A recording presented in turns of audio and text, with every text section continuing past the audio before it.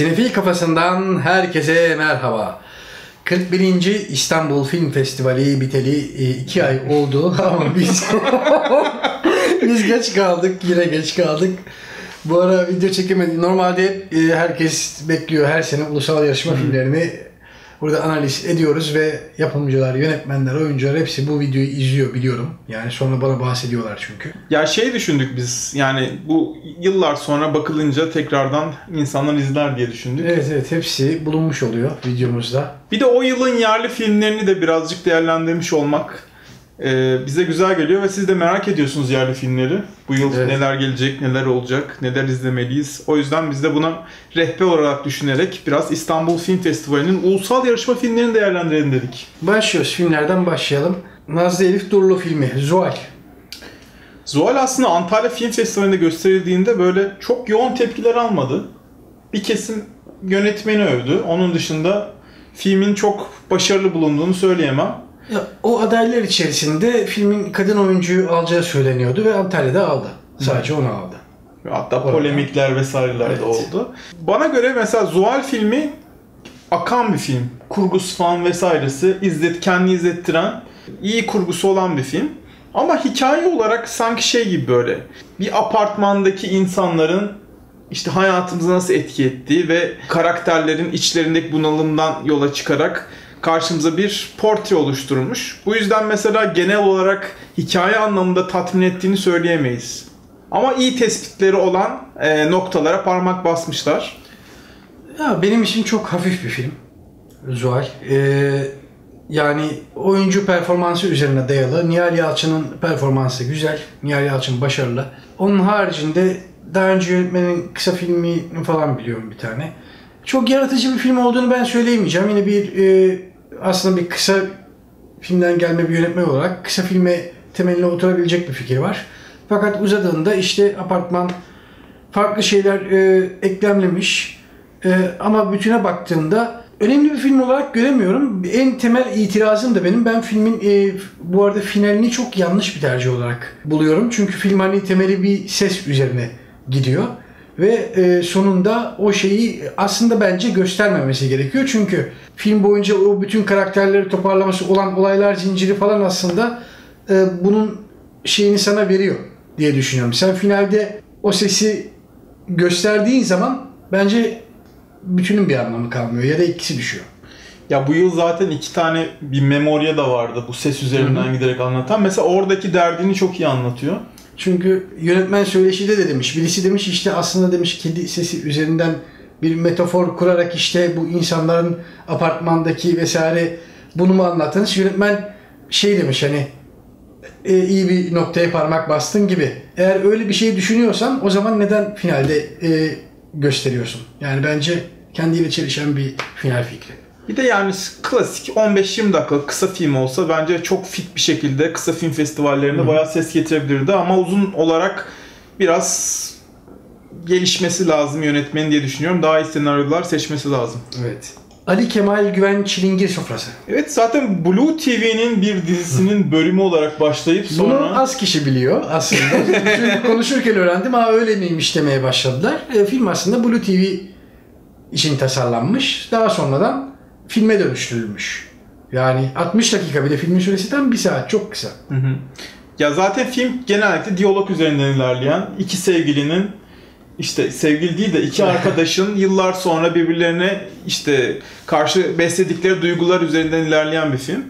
Ya bence iyi oyunculukları vardı. Senaryosu fena değildi ama sinematografik açıdan sinema anlamında bir sinema filmi değildi izlediğim. Ben daha- çok iyi bir TV filmi izlemiş gibi hissettim. Şöyle e, ülkede zaten bir elin parmaklarına geçmeyecek kadar az yenilerden LGBT sineması örneği varken işte daha çok bizde mesela gay filmi daha az. Mesela Aşk Büyü vesaire Hı hı. e, yapıldı. Mesela şeyleri biliyorsun ama gay filmine gelince örneği o kadar olmuyor. Hani ya da o kadar bizim ülkede en azından cesur davranmıyorlar. Derken e, bu film geldi. Bu film de çok cesur bir film mi tartışılır ama e, bir adım olarak ben de tabii ki e, seviyorum ama dediğim gibi ben de daha TV filmi şeyine yakın buluyorum. Ee, bu Çünkü- bir adım oldu. Gerisi gelir. En Ya çünkü bölüm bölüm gidiyor zaten şey Evet.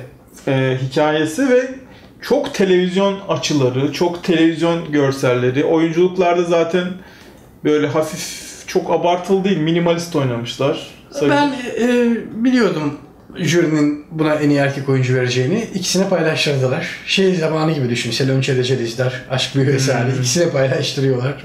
Onda tek Selon Çele verdikleri de oldu ama böyle yani çok iz bırakmadı film bende. Öyle söyleyeyim. Gizem Kızıl bana karanlığını anlat. Film tiyatro olsaydı bence çok iyi görecek güzel bir tiyatro oyunu şey filmden çıkardı. Ama ne yazık ki e, tek mekan filmleri açısından bazı şeyler işlemiyor diyeyim. Yani aksıyor böyle. Akmıyor film. Çok bariz şekilde bir tiyatro fikri. Ee, bu tarz filmlerin aslında bir nevi handikapı oluyor bu. Ee, örnekleri de zaten çok dünya sinemasında da. İşlemeyen yerleri orada. Yani mizahı istediği gibi işlemiyor mizahı. Çok hafif mizah var zaten. Onun dışında senaryoda böyle işte aman aman bir senaryosu yok sinemaya göre. Diyaloglara daha çok o tirat atacak diyalog ve Aslan Gürbüz'ün oyunculuğu üzerine yüklenilen e, sahneler var. Aslan Gürbüz'ü sevdiğim bir oyuncu aslında ama Ama yine Mehmet Evet. Yılmaz Ak filmin yıldızı gibi gözüküyor bana. Mehmet Yılmaz Ak nereye girse filmin yıldızıdır yani. E, aldığı rolün dakikası, e, bulunduğu konum önemli değildir. E, Cidden hep e, öyle yani. Can Evrenoğlu'nun perisinde olsun. Kırık Kalpler Bankası'nda bile 3 dakika giriyor ama her şekilde rol çalıyor. E, bunun dışında şey olarak, kurgu olarak çok hantal kaldığını söyleyebilirim. Kurgu olarak mesela bazı sahneler çok uzun tutulmuş, bazıları kısa tutulmuş bir ritim konusunda sorunları var. İlk film olarak kabul edilebilir ama sınırlı kalmış. Ziya Demirel, Ela ile Hilmi Vali. Aslında bu festivalin ödüllerine bakarsak yıldızı konumundaki filmlerden En fazla biri. o aldı sanırım. En iyi filmi almamasına rağmen 4 ödül aldı. Öyle bir şey. Fibreski dahil olunca. Evet zaten Salı diye de böyle çok ödüllü bir kısa filmi var daha Evet. önceden. Umut Vade'den Ziya Demirel'in. Bu arada ilginç gelecek ama ben festivalde dolaşırken bir baktım işte iki tane teyze bana bir şey sordular. Onlarla bir sinefil muhabbete girdik garip bir şekilde. En sonunda öğrendim ki Ziya Demirel'in annesinin komşularıymış. Oluyor festivallerde muhabbetler. Hiç şaşırmadım yani. O çocuk çok başarılı falan diye övüp durdular. Evet. Ki filme baktık. Film ilginç bir film. Açıkçası oyuncu performansları öne çıkan filmlerden. Hikayesi de çok enteresan. Ve filmde yönetmenlik dokunuşları hissediliyor. Şöyle sanki hafiften Yunan yanı dalga mı? Hafiften. Çok hafiften yani tam diyemeyiz. yani ilişkiler ağı olarak üçlü şeyine bakarsan yani Tuhaf bir evet bir, bir şey var açıklayamadığım bu filmde. Tabii Ece Yüksel'i her zaman beğenen biri olarak oyunculuk olarak e, Ece Yüksel yine gayet iyi. Serkan Keskin Serkan Keskin ama diğer çocuğa da bir özel yetenek ödülü bir şey verdiler. Hmm, verdiler yeni genç yetenek. Evet. Bir de hikayede aslında bir pedofili konusu var sanki. Tabii yani aslında Çok net bence bir bu bariz ama Ama net değil yani. Çok muğlak bırakmış bazı noktaları. O yüzden bir rahatsız ediciliği var hikayenin. O yüzden izlerken bayağı rahatsız oluyorsunuz bazı konularda. bazı şeyleri çok fazla mı böyle hani metafora yükleniyor anlatısında gibi düşünmüyor değilim ama yönetmenin sineması zaten baktığın zaman kısa filmlere falan da baktığın zaman e, nasıl bir sinema çıkacağı az çok hayal edebiliyorsun. Yani karşılaşacağın şey e, daima bir tuhaflığı olacak yani. Ya bir de toplum baskısı üzerinden çok ilerleyen bir yönetmen. Bu hikayesinde de Evet. toplum baskısını direkt görebiliyorsunuz. Evet ve işte okul dönemindeki anıları bir de film 90'larda geçiyor ilginç bir şekilde. Yani dönem film de diyebiliriz. 90'lar biraz kendi çocukluk işte okul üniversite hazırlanma dönemlerine de parmak basmış. O yüzden ilginç bir senaryo. E, umut veren bir yönetmen. Çok mu iyiydi? Değildi ama iyi bir filmdi. Evet, benim festivalde kaçırdığım senin izlediğin bir filmde devam ediyoruz. Tarık Davut Yaban. Kaçırman iyi olmuş sanırım. ya şöyle bir şey var. Kısa filmlerde dahi kullanılmayan bazı şeyler hala bu filmde kullanılıyor. Ya metaforik bir anlatım yapacağım derken ya açıkça direkt spoiler veresim geliyor. Çünkü o kadar yani rüya denklemi desem acaba aklına bir şey gelir mi? Hani bu kısa filmlerde en çok kullanılan rüya şeyi. Aslında her şey rüyaydı mantığı. Tamam. Ya direkt film bunun üzerinde ilerleyerek ya bu senaryoya nasıl onay verdiniz sorusunu sordurtuyor. Ki zaten hikayedeki ana karakterin bunalımları vesaireleri falan e, görsel olarak iyi çekilmiş ama senaryo olarak tam oturtulamamış. Atmosferin de e, çok başarılı olduğunu söyleyemem. Bu yılın en hayal kırıklığına uğratan filmlerinden birisiydi. Hala bu tip senaryoları bu dönemde çekmemenizi rica ediyorum. Çünkü artık kısa filmciler bile çekmiyor. Bahman Gobadi, Dört Duvar. Evet Bahman Gobadi'nin zirveden nasıl dibe vurduğunu gördük. Türkiye gelince bozulmuş adam. Gerçekten e, inanılmaz kötüydü. Yani ben bazen filmin işte oyuncularından birileriyle de konuşma şansım oldu ve kimsenin böyle zaten filme dair şeyleri yoktu. Temkinlilerdi. İyi olmadığının farkındalar yani filmin. Ya mesela ana karakterin sürekli güvendiği iki karakter var. Birisi imam, birisi polis. Türkiye'de zaten bu ikisine güvenilmeyeceği çok net değil mi? Yani direkt İran'ın işte dışarıdan baktın. Türkiye hala dışarıdan baktı. Hani bu gurbetçiler gelir Türkiye çok güzel, çok her şey ucuz derler ya. Gobadi'nin filmi de öyle bir filmdi. Ben her zaman e, en çok beni açıkçası tahrik eden şey şey oluyor. Hep e, yabancı bir yönetmenin e, Türkiye'de yaşamayan diyeceğim de şöyle bir şeye katılıyoruz. Bahman Gobadi yıllardır Türkiye'de yaşıyor bir de. Zaten Türk vatandaşlığına geçtiğini, parasını verip geçtiği söyleniyor. O daha üzücü çünkü yani bu kadar e, Türkiye'de geçip de Türkiye ile alakası olmayan şeyler yine aynı Mustang olayına geliyoruz da sinirleniyorum. Şöyle yani evet anlatmak istediğin şeyler var ama bu şekilde değil dediğim olay benim her zaman.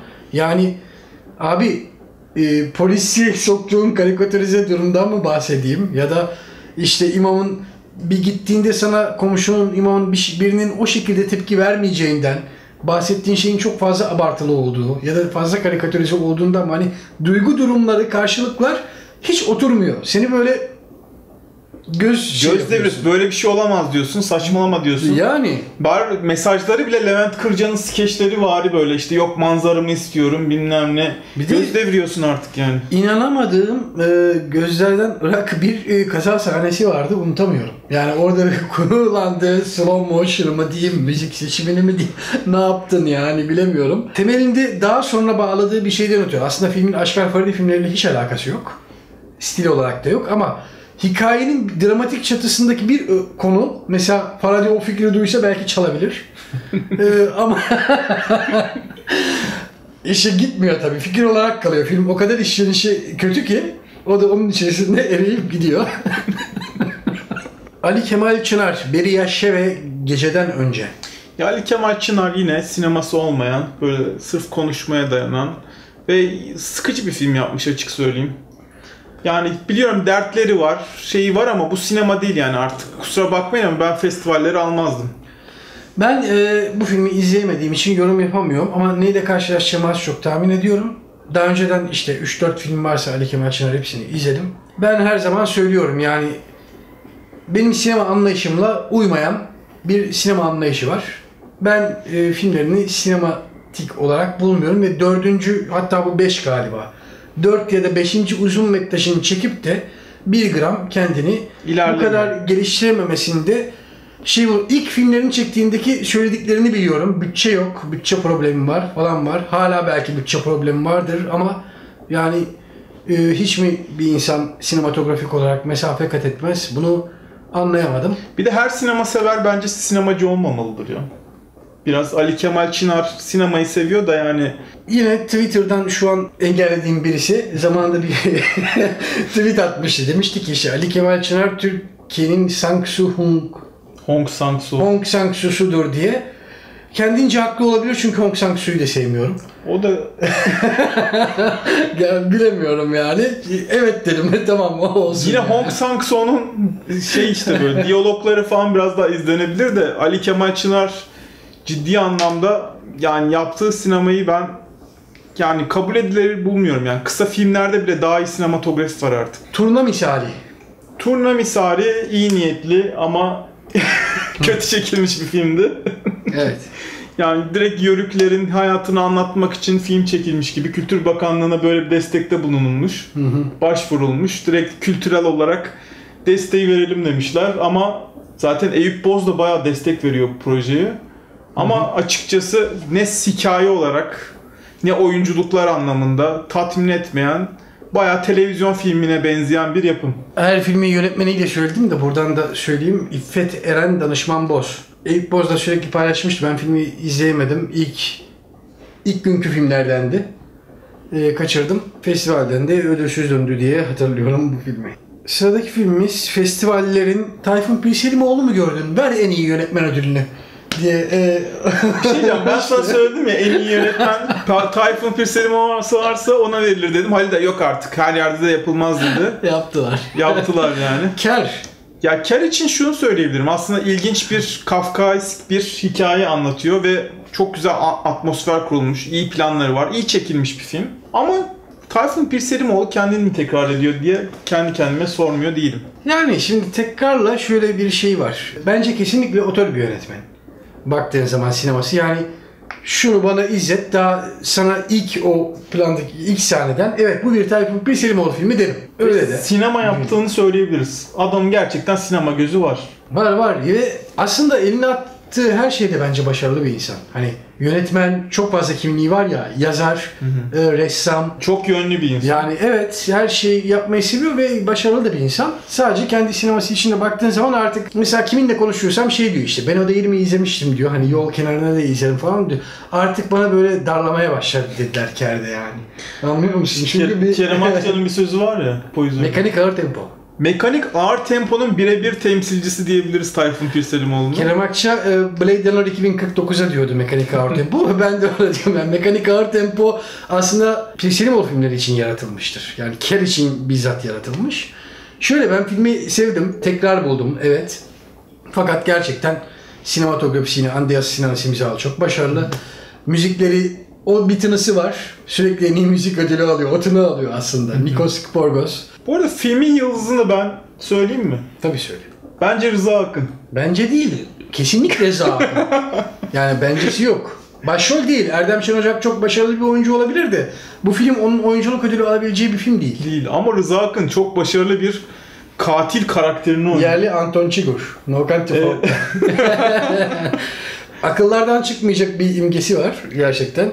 Ben de yeni aldım Ker'in kitabını. Şu an okumaya başladım. Harbi yani adam yapmış kafasındakini e, öyle gidiyor kitapta. Yönetmen sineması olarak evet başarılı bir şey alacaktı zaten ama en iyi yönetmen ödülü de artık çok ezber oluyor. Geliyoruz. Hakkı Kurtuluş, Melik Saraçoğlu birlikte öleceğiz. Sen başla, sen öv önce. Öveyim. Ee, ben ikinci defa izledim burada. Antalya'da da izledim. Burada da izledim. Ee, çok uzun bir film. Genelde Nuri Bilge harici insanlar Türkiye'de bu kadar uzun film çekemiyorlar. Kat yapılmadan bunu yayınlamışlar. O ona saygı duyuyorum.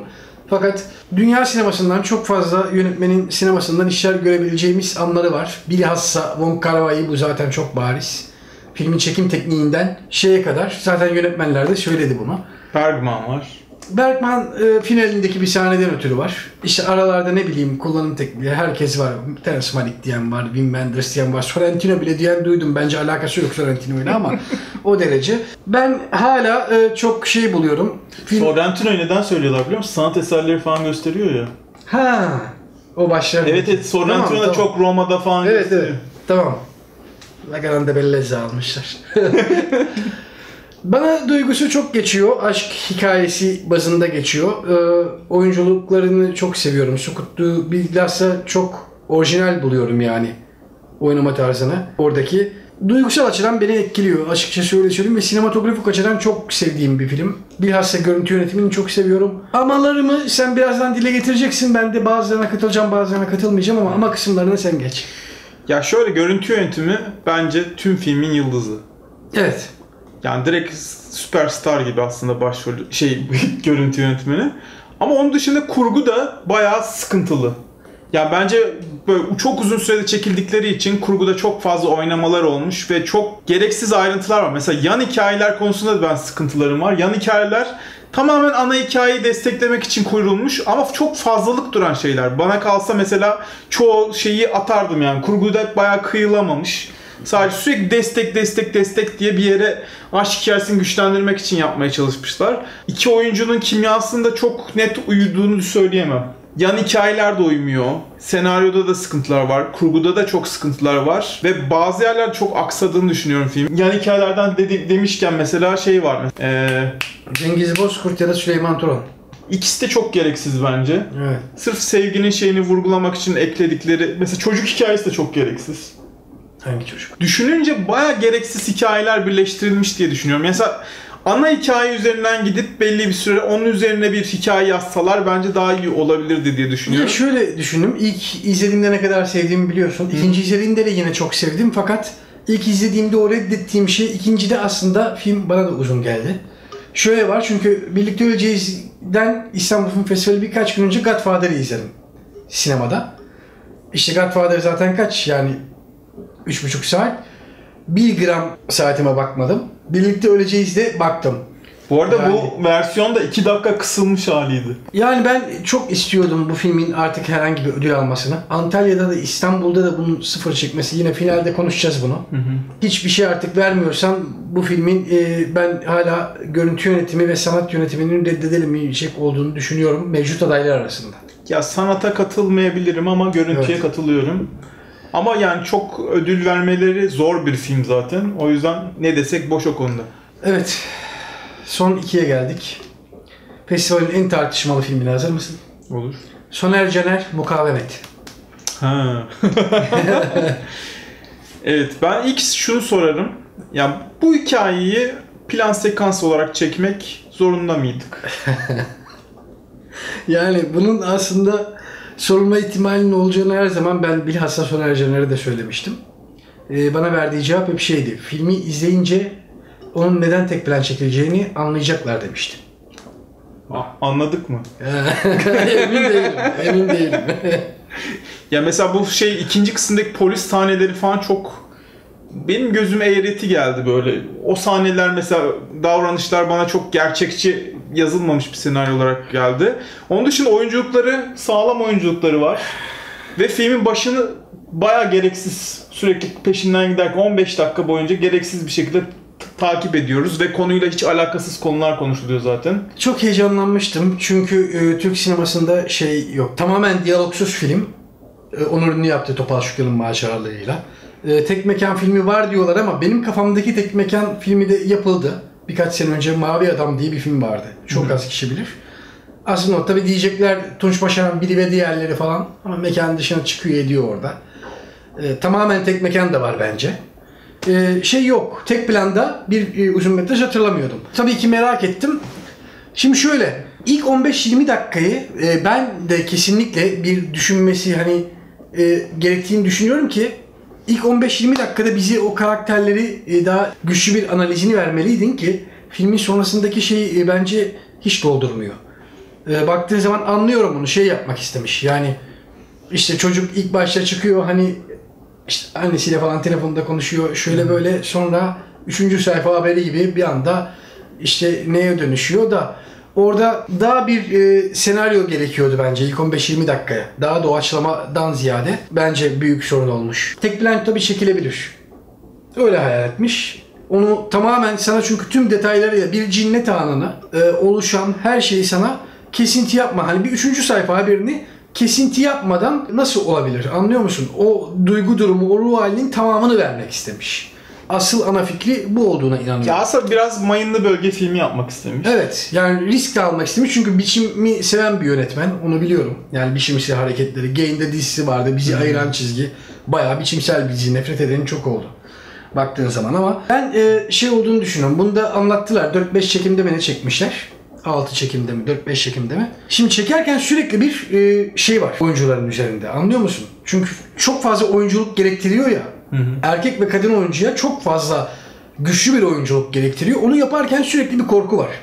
İlk çekimde mesela 85. dakikaya mı ne gelmişler pat kamera kapanmış. Şimdi hem onun şeyini sağlamak zorundasın hem bu ortada bir dengesizlik oluyor. Yani aslında oyuncuların o oyunculuğu yaparken kafasında onun olmaması lazım. Bu da bence e, filmin o dengesizliği verdiğini düşünüyorum. Seyirci rahatsız etmek istemiş. Onda da başarılı oluyor aslında. Ama ne bileyim o bacağı 5 saatte kesmenin anlamı.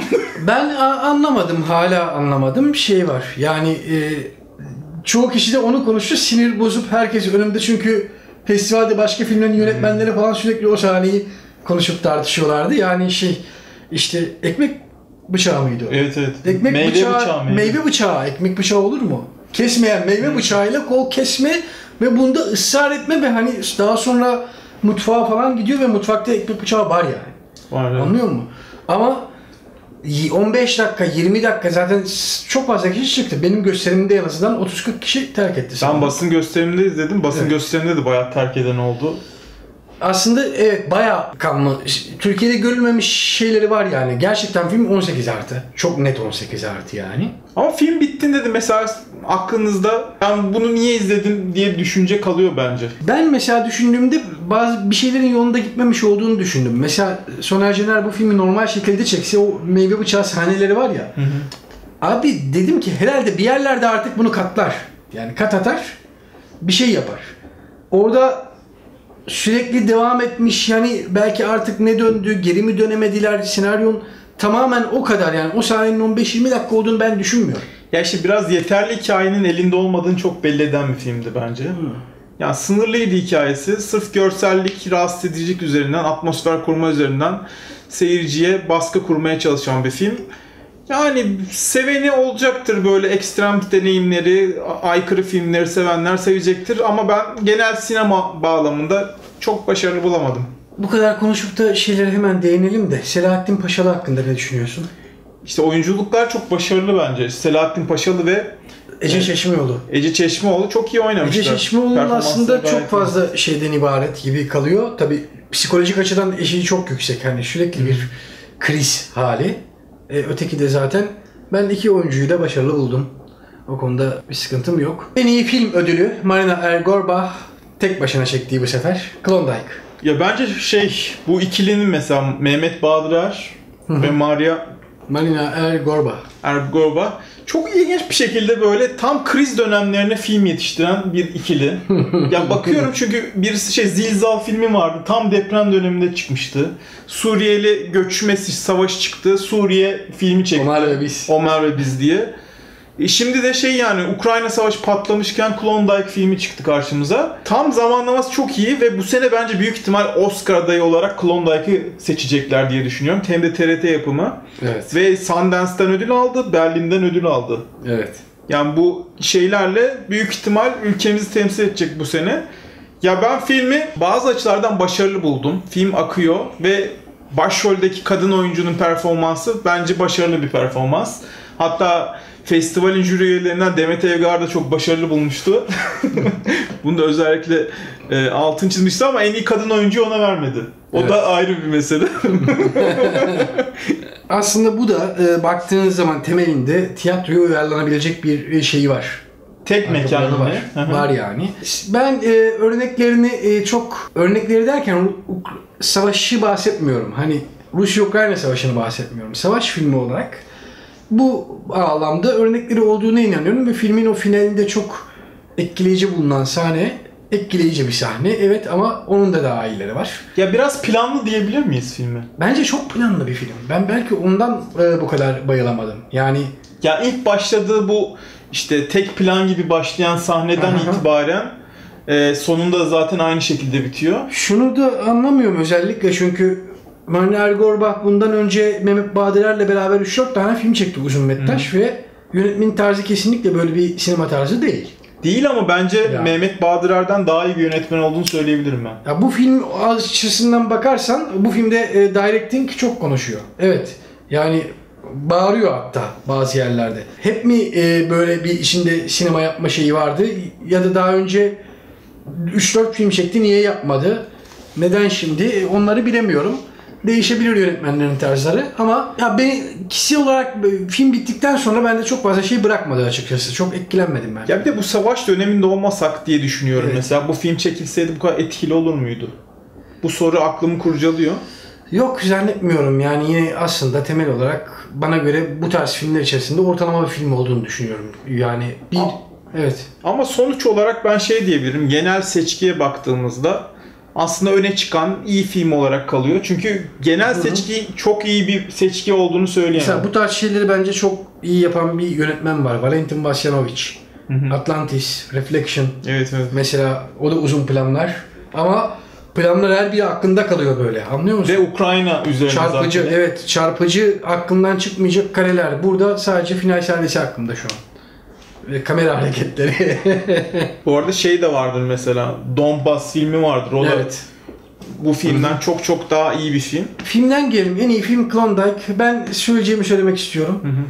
Burada Onur Ünlü'nün Onur Ünlü'den ödül çıkmasını beklediğim benim iki film vardı. Birlikte Öleceğiz, Mukavemet. Sebepleri Birlikte Öleceğiz aslında tam bir Onur Ünlü filmi. Benim düşüncem. Yani Mukavemet de farklı bir şey deneme cesaretinden ötürü. Yani Topal Şükran nasıl tamamen diyalogsuz bir film. Bu da tamamen tek plan bir film. En azından yönetmenlik olarak bekleyebilirdim. İkisine de ödül çıkmadı ve en iyi film e, Klondike. Bu bana şey anımsatıyor. Çok politik. Yani Coen kardeşlerin e, Dipan'a altın palmiye vermesi gibi bir şey hatırlatıyor ve samimi bulmuyorum. Onur Ünlü gerçekten bunları izledi en sevdiği film Klondike mı? Emin değilim. Evet bu seneki filmler böyleydi. Ee, Klondike en iyi filmi aldı ve büyük ihtimal e, önümüzdeki günlerde yine çok konuşulacak bir film olacak. Sizin de yorumlarınız varsa yorumları bekliyoruz bu konuda. Kanalımıza abone olmayı unutmayın. Sonraki videolarda görüşmek üzere. Hoşçakalın. Hoşçakalın.